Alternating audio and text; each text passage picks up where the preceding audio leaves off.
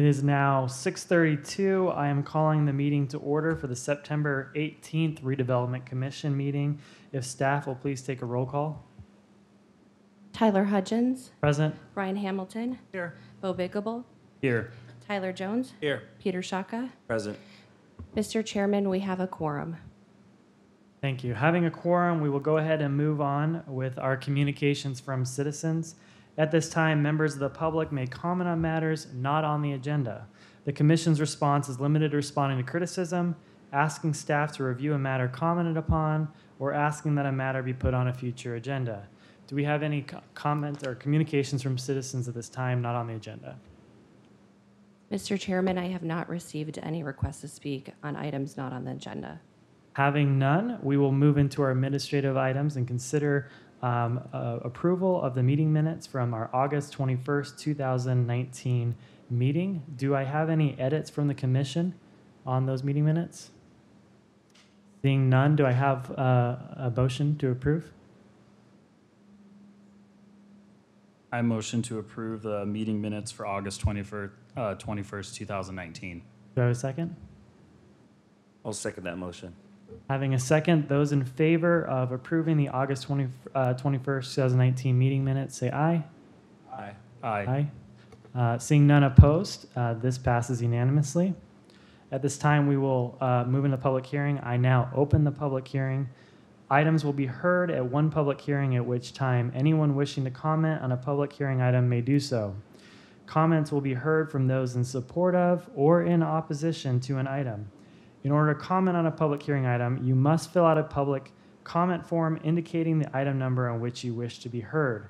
Once the hearing is closed, there will be no further public comment unless requested by a member of the commission. After the public hearing, the commission may act on all items not requiring additional staff, public, or commission comment with a single vote. Staff, if you'll please move forward for item 2 Z1904 LDC text amendment heritage assigned plans.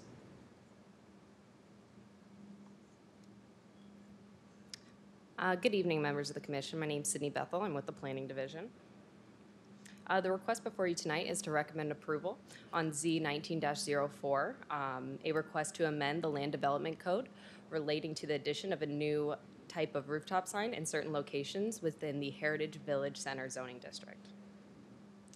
To provide some background on the history of what has previously been heard with this item, on April 3rd, 2019, it was originally initiated by the Planning Commission.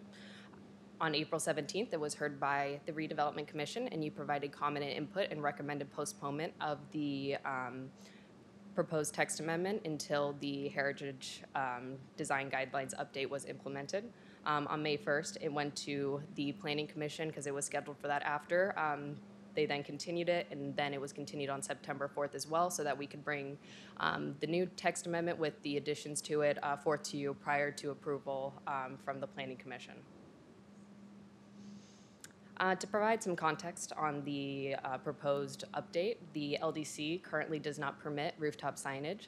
Um, And most other cities' research do not permit new rooftop signs to be erected. The ones that are presently existing in most municipalities are either um, historic signs or are copies of historic signs that have been um, erected.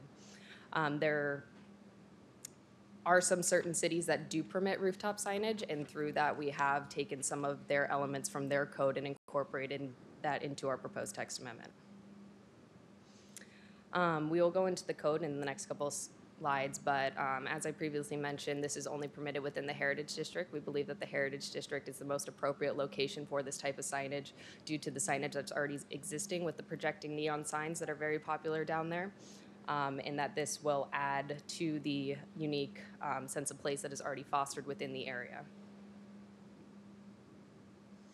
Uh, For the next couple slides, I'm going to provide an overview of some of the major points of the text amendment. First, having to do with the location of where these signs will be permitted. So they will only be permitted within the um, Heritage District, specifically within the HVC uh, zoning district. So showing this map over here, the red outline. Oh, I apologize, the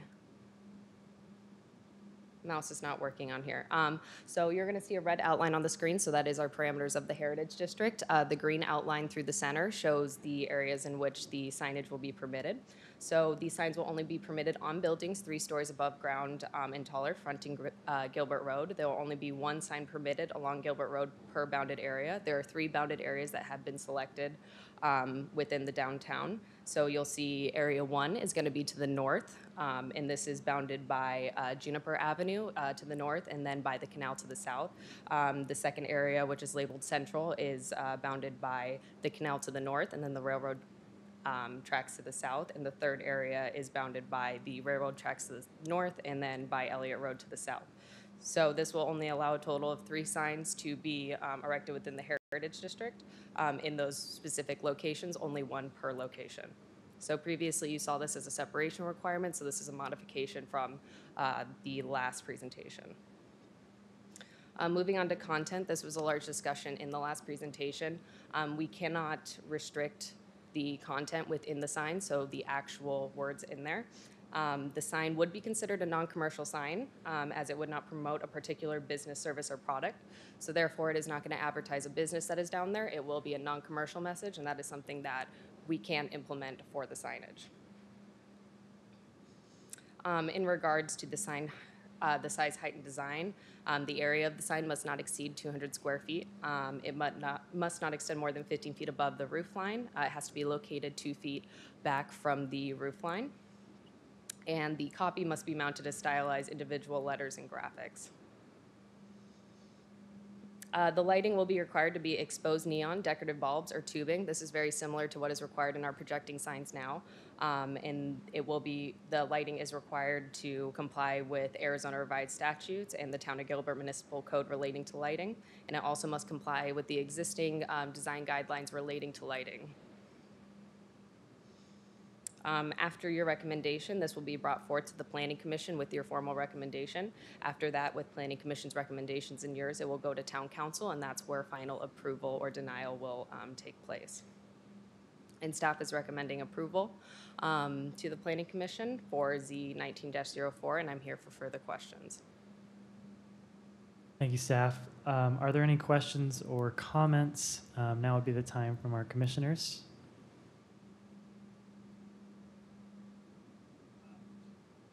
I just have one question about the, the non-commercial aspect of the signs, and if we need town attorney assistance here, I, I would appreciate. Well, non-commercial, I assume, non-commercial means can't support a business, I understand that. Could it say Coca-Cola, Pepsi-Cola, a product? Is that still commercial, or how does that? And then I guess my second one, if, if I'll tag it on, is that, what about political stuff? What, could it say abortion is murder? Could it say, I mean, is, would would that be allowed as well, or, or no?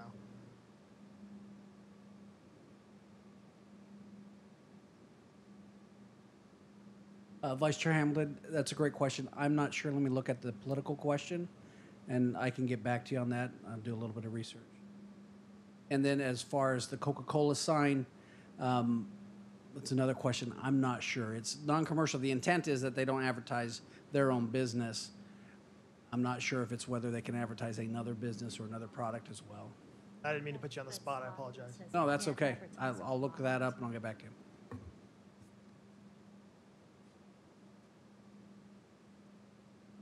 Chair, maybe to take a step back, I guess, help me understand why we would not be able to approve what actually goes on the signage. Why do we need to just put it into the wording and go from there and let somebody take it from there? Um, so I'm going to direct this to legal, just the, to give him the full explanation on the protection of the speech. I can give a brief one, but you may be able to give a more insightful um, history into our signage and protected speech in Gilbert. So could you repeat the question again?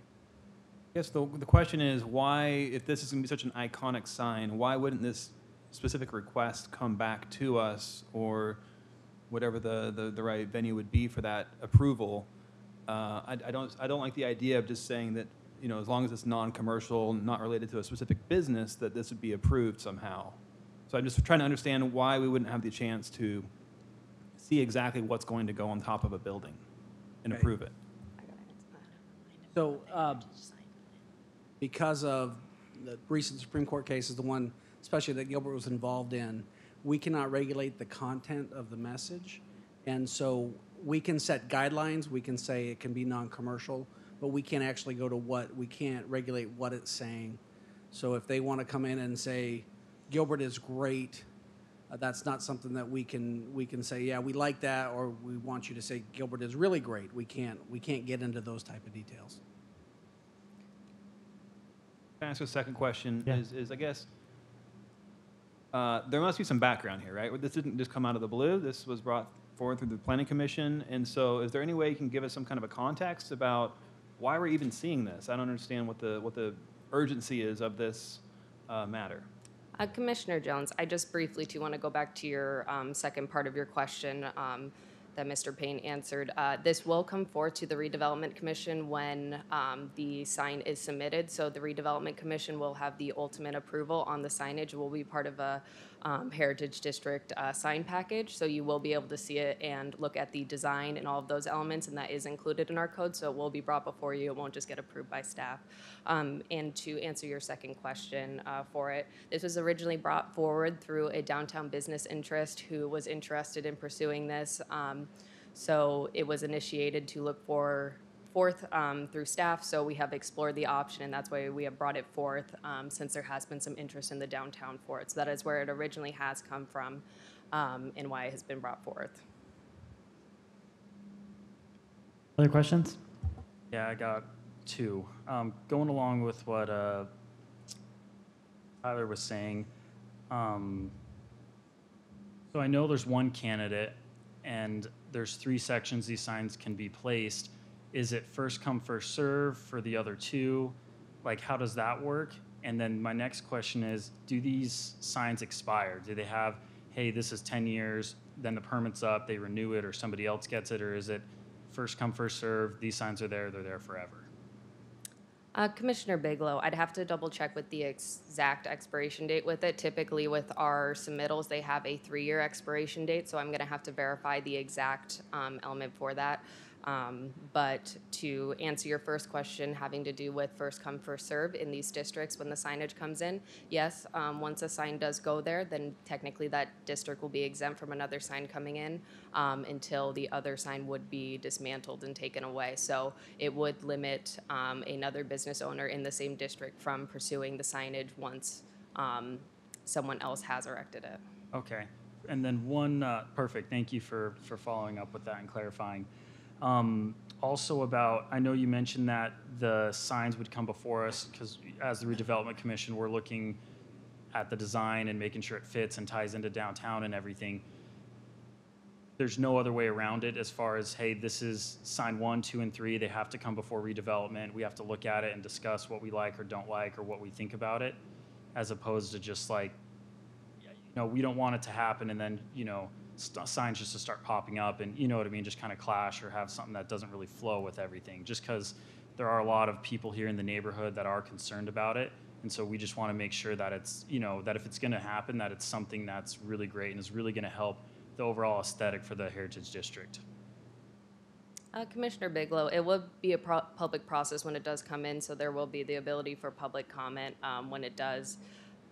I may be un- misunderstanding the question. Were you asking if all three could be reviewed at the same time? That that's in a manner we do it to make sure that it was a cohesive submittal? Yeah, yeah, or just every three years or whenever it expires. Not that somebody gets in with a sign that everybody likes and then three years later they can swap it out with whatever they want. Just kind of making sure that it's, it kind of protects the Heritage District more than anything, you know, and, and the, the people who live down there.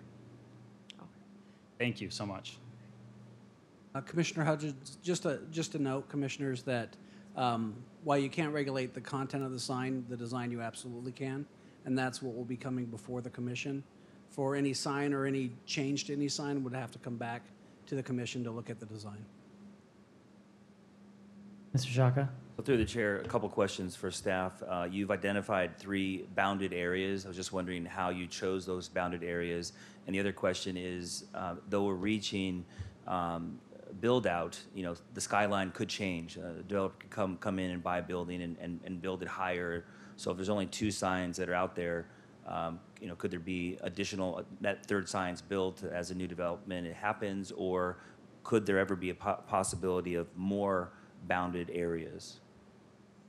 Um, Commissioner Shaka, so for what we're bringing forward, we are looking at doing these specific areas. Possibly in the future, things could be brought forward as an amendment. Uh, so that's not something that's out of the realm of possibility. That's not our intent with this, what we're bringing forward to you. Our intent is to keep it too limited to three to avoid uh, competition and cluttering and some concerns that residents have and that the commission has had as well. So that technically is a possibility that it could get amended in the future, but with this middle, we're not looking at pursuing that, nor would we necessarily want that to happen. But we understand that things redevelop and change, so it could be a possibility in the future. Um, another question that I would have is I know there's been some discussion um, through a recent article I was reading about potential uh, additional redevelopment areas. If there are ever redevelopment areas in the future, would these signs apply or is it just going to be specifically to the Heritage District? Uh, Chair Hudgens, so this is, as it comes before you, specific to the Heritage uh, District, only in um, one specific zoning district, which is HVC, um, which is specific to this area. So that is the only area that is being brought for you right now. Um, Like projecting signs that are in the downtown, those are now permitted in commercial districts and also in the um, Gateway Village Center District. So that was an amendment that took place not too long ago. Um, So that's something that could possibly happen in the future, kind of um, similar to Commissioner Shaka's question of, yes, it could technically expand in the future, but right now it only applies to the Heritage Dis- District in this one zoning district. Um, commissioners, is there any other questions or comments this time? Thank you, staff. All right, thank you. Um, we so far, I currently have um, members of the public willing to speak. Um, I have three that are opposed that do not wish to speak. That will be turning their time over to another speaker, um, and then we have two additional ones that are opposed to this item that wish to speak. And then we have another one that is opposed to speak, uh, is opposed to this item but does not wish to speak. So total, we have five, six individuals that are opposed to this, one not speaking, and then we have one in favor um, that does wish to speak. Um, so I'm going to go ahead and start with Doralice. If you want to come forward for those three, um, Doralice, I'll give you 10 minutes to speak uh, on behalf of yourself and those other individuals.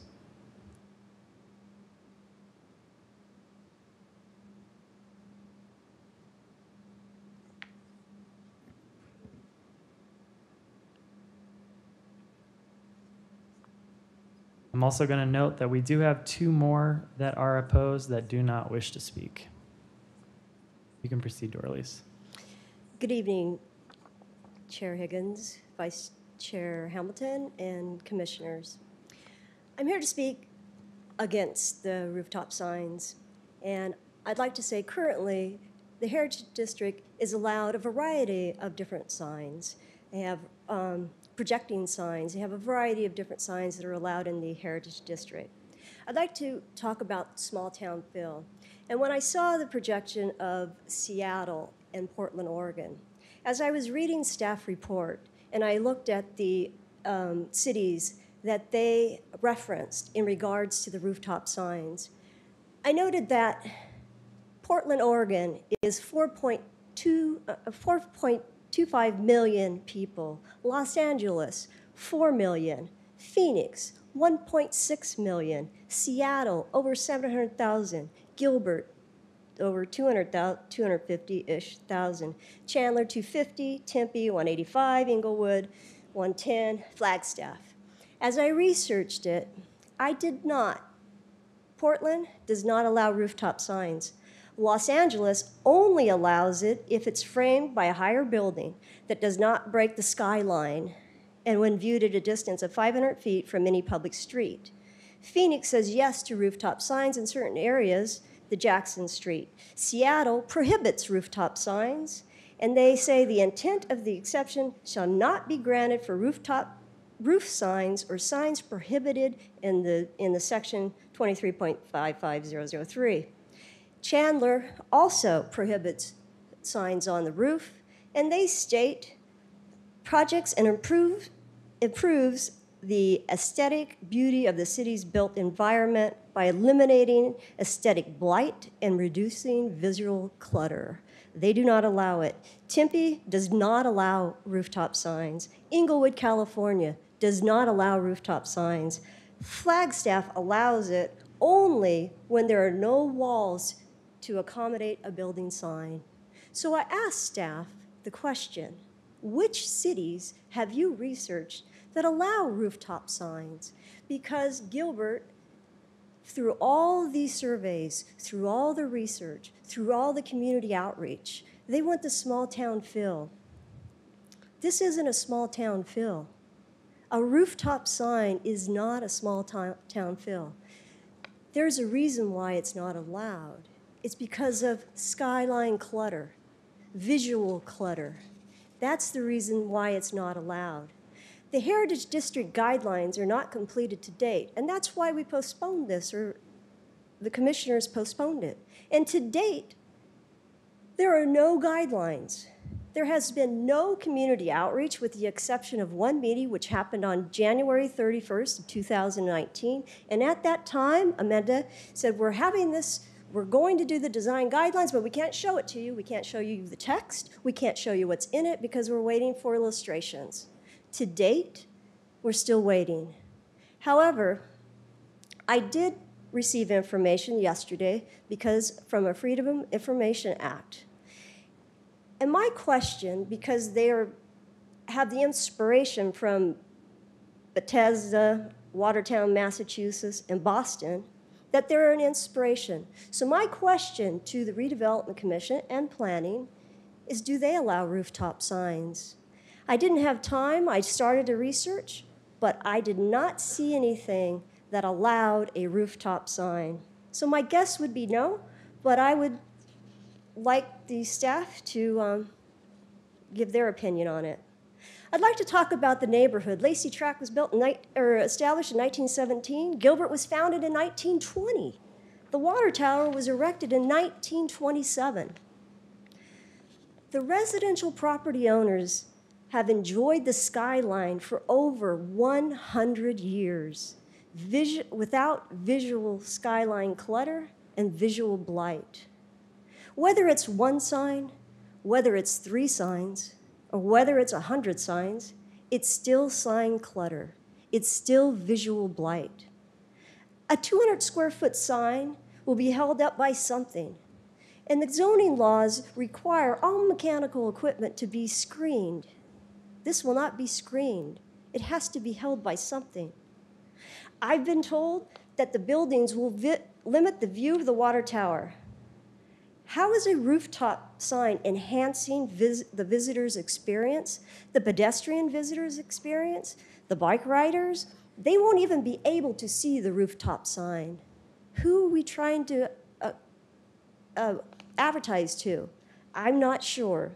However, the residents will be viewing that sign 24 hours a day. When they wake up in the morning, they will see the visual blight. When they go to bed at night, they will be lit up, and it will be lit up with visual clutter. The zoning regulations in Gilbert re- require about the mechanical equipment. We talked about why.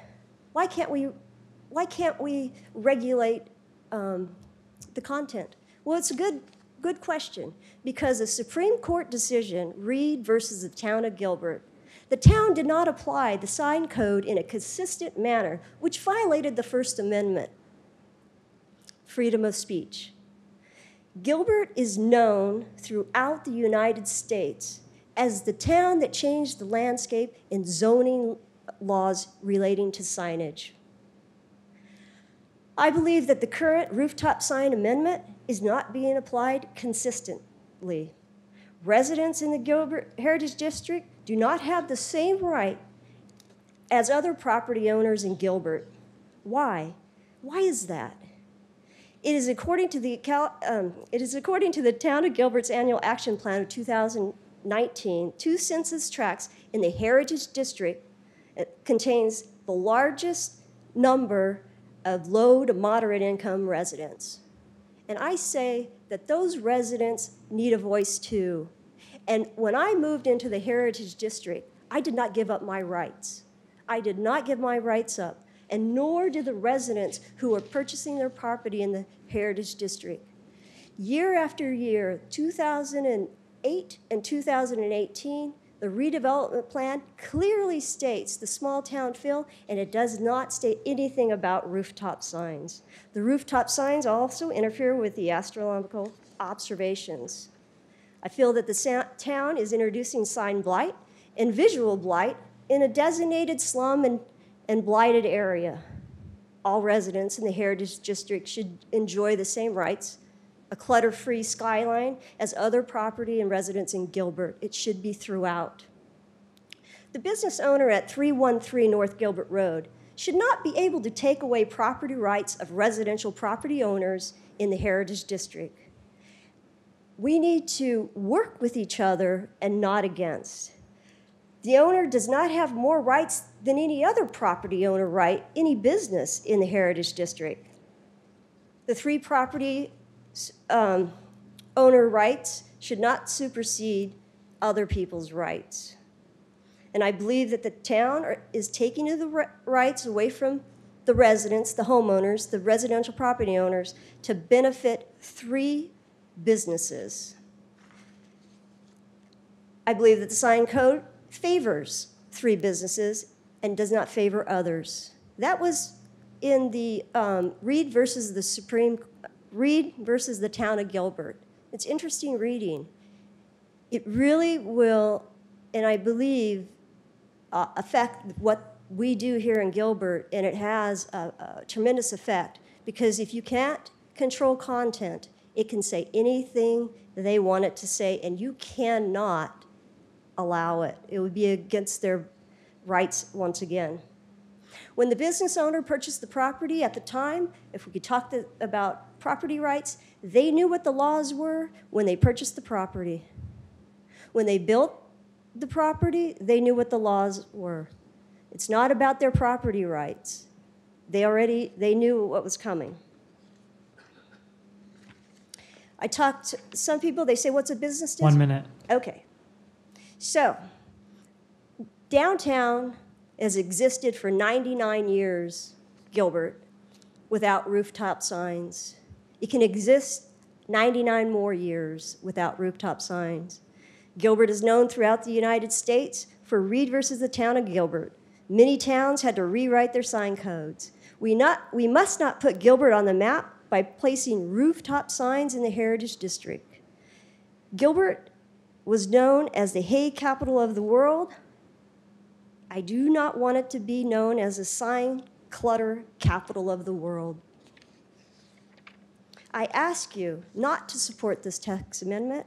I ask you or to postpone it until the design guidelines are completed and stakeholders have a chance to respond. And I appreciate your time and your service. Thank you.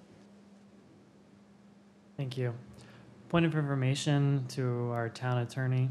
Um, Does the proposed um, uh, plan in any way infringe on property rights of residential owners?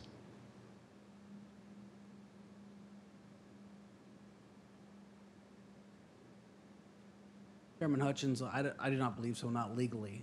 Um, some property owners may not like the look, but I don't think there is a legal right to have an unobstructed view unless there's some type of air easement in place for them.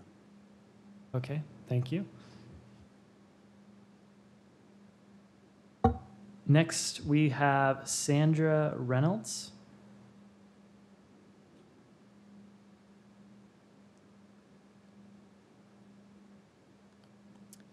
Hi, I'm a resident of Gilbert, and I appreciate the chance to talk to you here tonight. A little nervous. I don't usually talk in front of a bunch of people, so um, forgive me if I fumble about.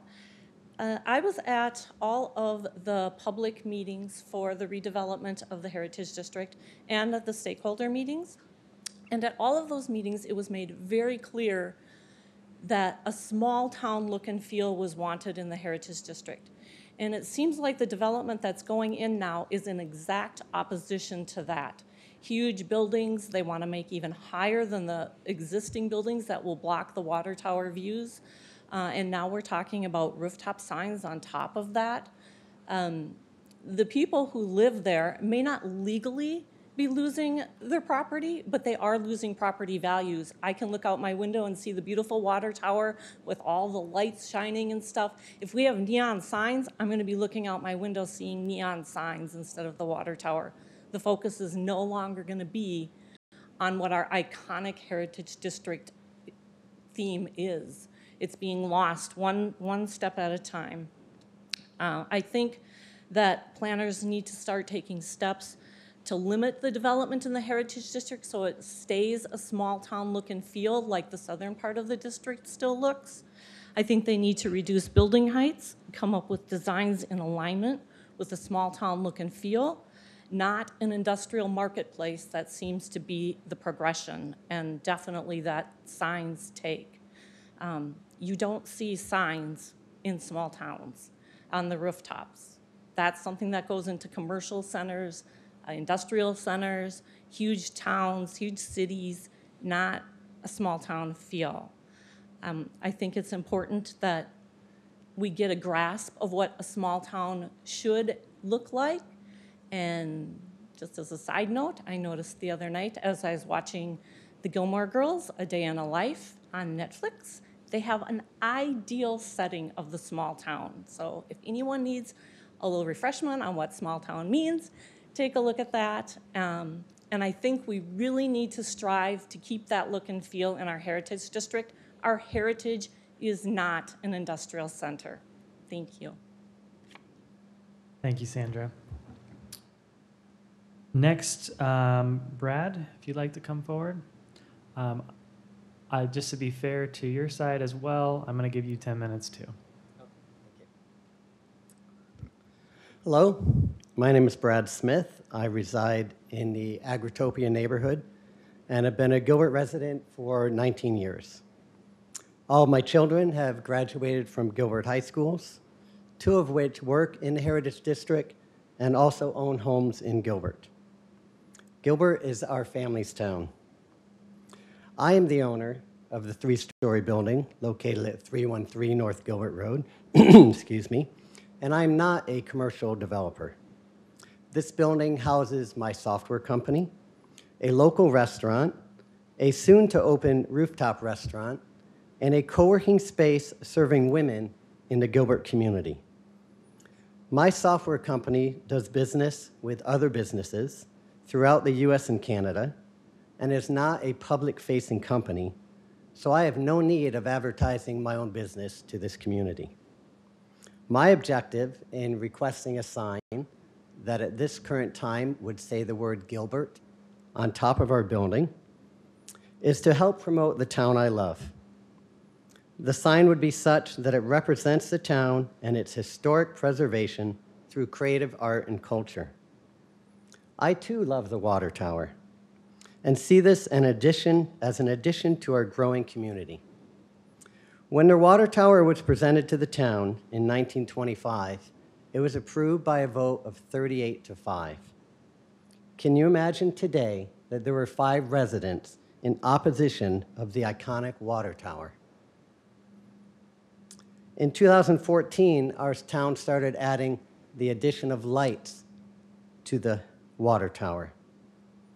So much so that those parties interested in lighting the Gilbert Water Tower a specific color to recognize a com- community impacting initiative or create community awareness that you can make an application to do so. My point is this our town will always be evolving in ways to celebrate who we are, and I see this as an, another addition to celebration. Thank you. Thank you, Brad. Um, are there any other public comments at this time before I proceed? Mr. Chairman, I do not have any other cards. Seeing none, um, I would like to open it up to the commission um, to discuss uh, or entertain a motion. I enjoyed uh, both, hearing both sides of, of the argument, and I, I have to uh, admit, uh, personally, there, there's a lot of downtown communities in Arizona that are very what's the right word, jealous of the, the signs and the sense of arrival that the town of Gilbert uh, exudes. Um, and, and I appreciate the fact that, you know, our goal is to keep it a, a small town feel. I guess parking garages are not small town. There's, there's, there's several of them. And, and so I guess as we do evolve, as Brad mentioned, uh, so too does the, the look and feel evolve. And so, you know, it's, it's nice to have our cake and eat it too. And I think in some ways, uh, town of Gilbert has that. We have a small town feel, and yet we can, it, it's exciting to see the, the dynamics um, in, in, in Gilbert. So um, I see both sides, but the 38 to 5 vote in 1925 for the erection of the water tower, who knows? There might have been even more people that were opposed, but ultimately voted yes. So uh, they'd never probably imagined that it'd be lit up today, too. So times change, and so does the, the fabric and look and feel. So um, just make those comments.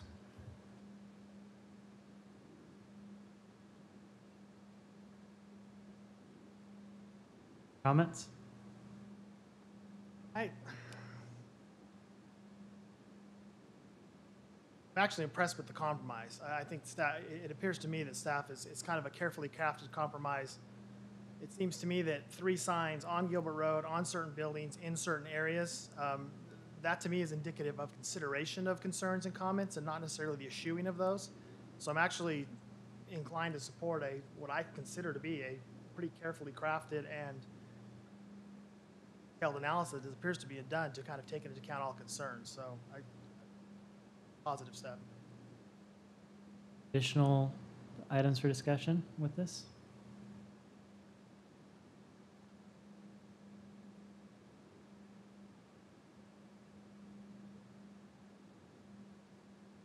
Um, If if there's none, I would entertain a motion. I'll move to recommend approval of the planning commission for Z nineteen 4 LDC text amendment heritage sign panel. Those in, uh, do we have a second? I'll second that motion. Having a second, those in favor say aye. Aye. Aye. Any opposed? One opposed? Okay. With that, we have uh, passage of this with one opposed. At this time, I will now close the public hearing on item number two. We will move into communications. Um, Communications from chair, none at this time. Our council liaison. None right now. Your Um, Do we have a report from our commissioners? Seeing none. And do we have a report from our staff liaison? Mr. Chairman, I do not have a report at this time. Okay, having none, we now adjourn our meeting.